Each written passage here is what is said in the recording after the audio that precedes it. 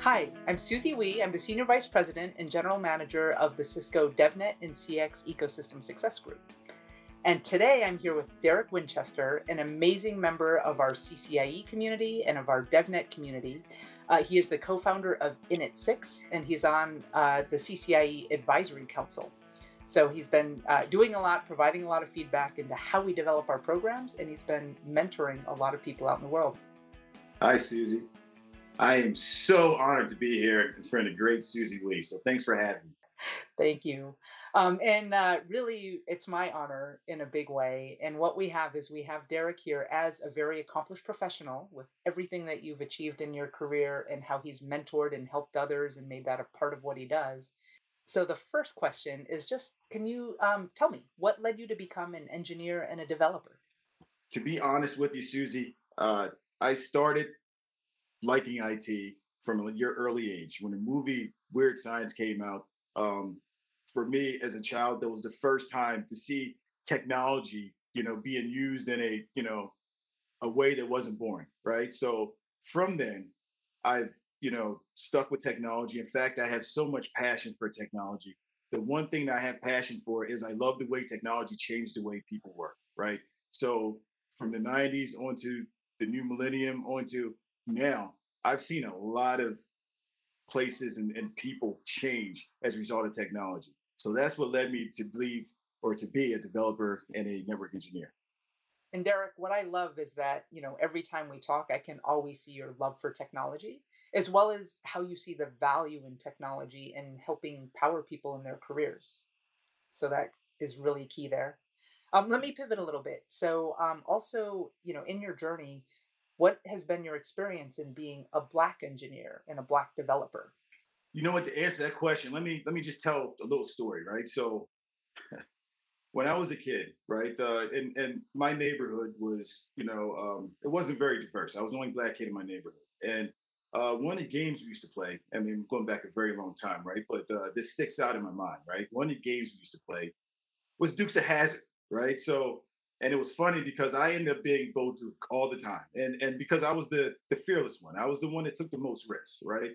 Um, we played this, you know, I think we played about two or three summers, right? And um, we had fun playing a game until one day we didn't, right? One day, uh, pieces of puzzle just didn't match, right? One day, um, you know, race was the elephant in the room. You know, I couldn't be Bo Duke, you know, um, and that was my first real lesson uh, in life, right? So uh, just to, to, to fast forward, right? Uh, people normally hire, in my experience, people normally hire who they feel comfortable with, right? So um, the higher the risk of the position, the more that people hire what they trust, what they believe in, what they see, right? And and most of the time, it's a person of the same, you know, race or or you know, from the same place, right? So knowing this and knowing, you know, my past experience of, you know, the story of Dukes of Hazzard, of I've always had to work twice as hard. I've always had to study twice as much, and I always had to prepare twice as much. I mean, that's just that that that makes me who I am. So that's my experience being a black engineer. Developer. Yeah. Can you share any uh, particular challenges that you faced?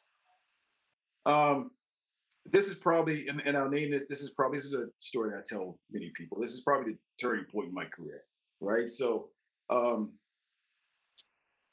probably I would say around 2004, 2005. You know, um, I used I worked for a large global company. Um, I was just acquired. I was a startup, and I was just acquired. And uh, not long after I was acquired, uh, they canceled the product. So I was a person during, you know, right around the tech bubble. I was a person that did not have uh, you know a real role in this company. So you know I spent time going from team to team to team until one day this email came across that changed my life. Right, this email was looking for CCIE type talent, and at this time I wasn't CCIE, but it was looking for a CCIE type talent uh, for a major project in Israel. Um, I submitted my resume, and uh, I got the job. Nobody, no one ever called me, you know, to question me or anything. Um, I went to Israel and um, and I I will never forget this. Right, so I had three days to go to Israel. I was not a voice guy. I remember reading voice RFCs on the plane there, and I get to Israel, and um, you know, I'm waiting outside to be introduced to the program director, and lead engineer came up and um, and he looked at me and you know, I was the only American on the project, so here's the humor, right? Uh, he said, you know, um, it's great to finally meet you, but with a name like Derek Winchester, I'm pretty sure that the candidate will be white. And there's Wow. and the way he said it was a joking way, you know. Um, however, I there's truth to everything people say, right? So, and then the program director uh, invited me inside his office, and he said, "Look, um, I don't think you're what we were looking for, but I'm going to send you back in three weeks. We need you on this project so that people can take vacation. But after they take vacation, um, in three weeks' time, you'll be going back." Um, in three weeks, I solved a major uh, incident.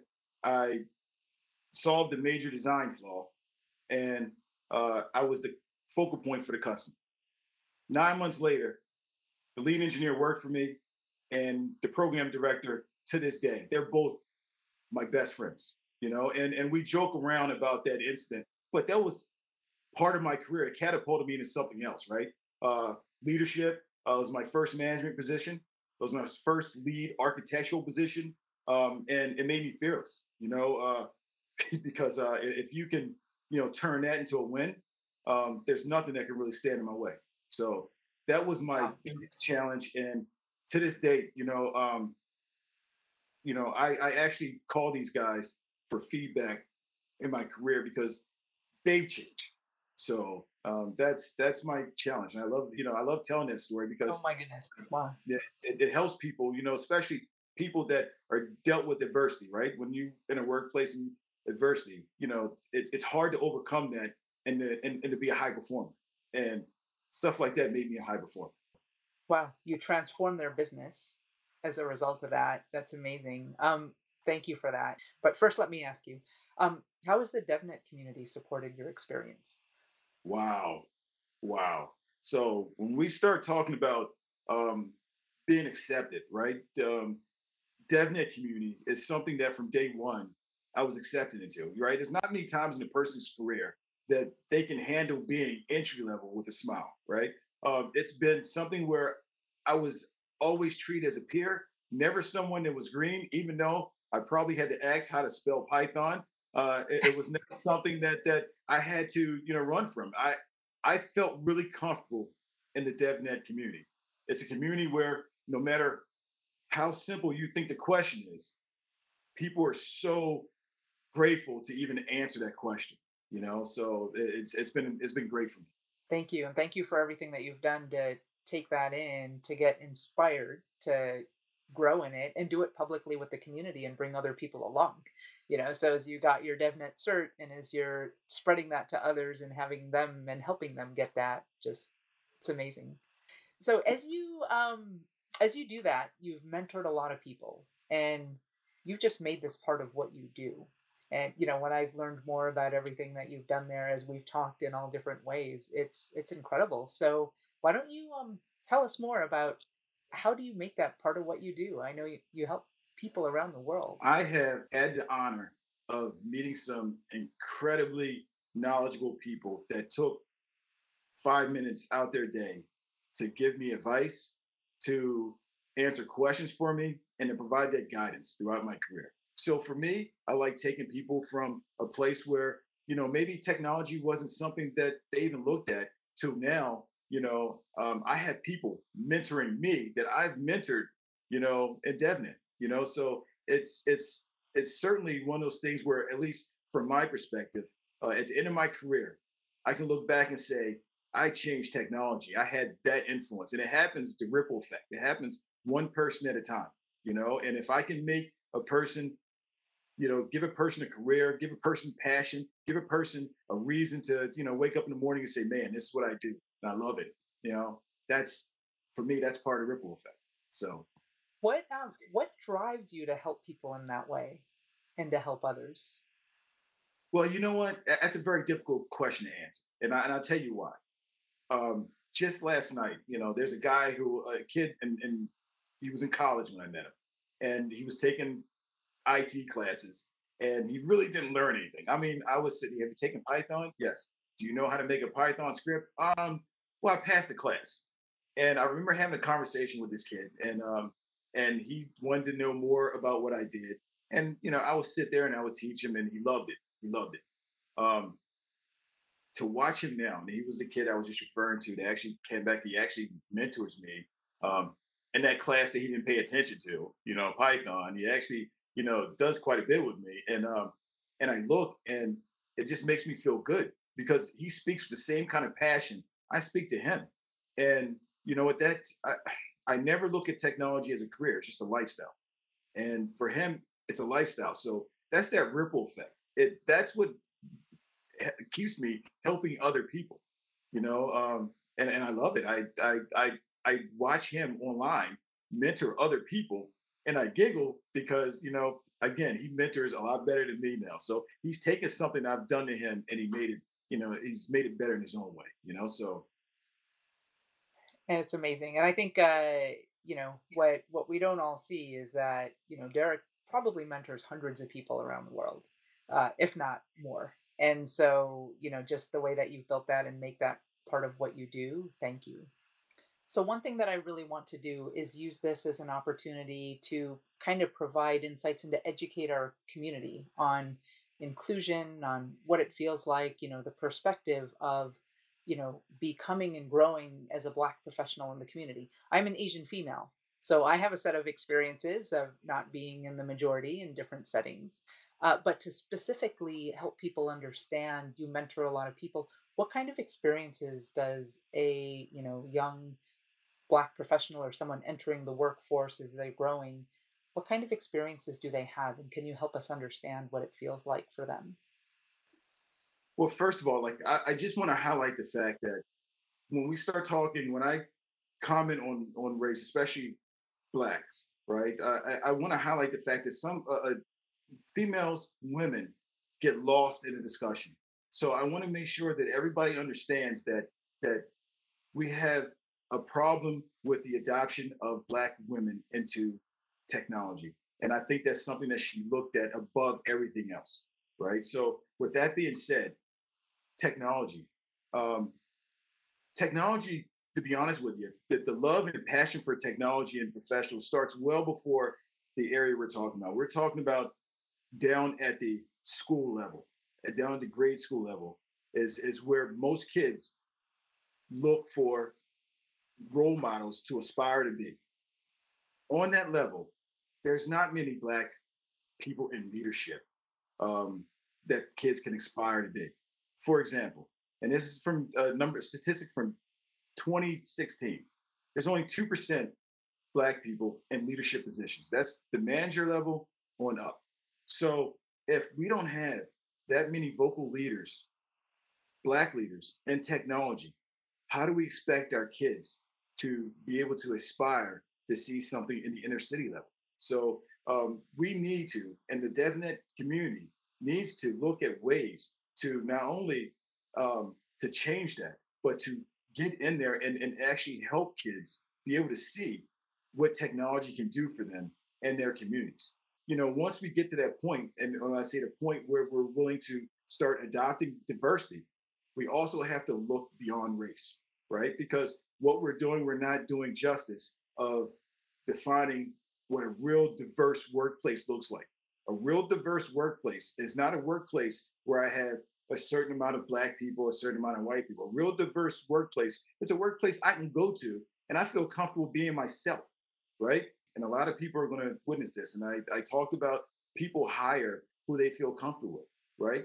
Um, and we need to get back to again, uh, and I'll use a example, right? And and he's this is a very common example. I'm just you know no real name, you know, um, Brian. Brian is a very you know smart leader. He's a very energetic leader. He's done a great job uh, in, in providing visibility and, and, and his vision to to his people um, uh, you know, Brian is leader of a, a department. Brian leaves. Um, we are used to replacing Brian. You know, we we have a culture that that is is very used to saying, okay, Brian is great. So the next person that comes after Brian has to sound, look, and and have pretty much the same demeanor as Brian. And and I think that that's where you know it falls apart. You know the concept of diversity. There's a lot of people, and, and I'm not even going to say just black people, right? I think this is a very yeah. cultural where when you apply for a job or you're on a job, you learn to be someone else other than yourself. You learn to be Brian. And I want to, to get back to, you know, everyone looking at diversity as a full and have people apply for jobs and, and hire people based on what you think they can provide versus what the last guy had.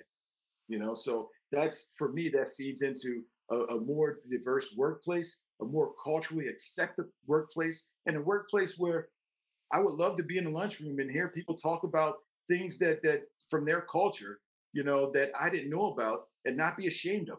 You know, so that's for me, that's real diversity.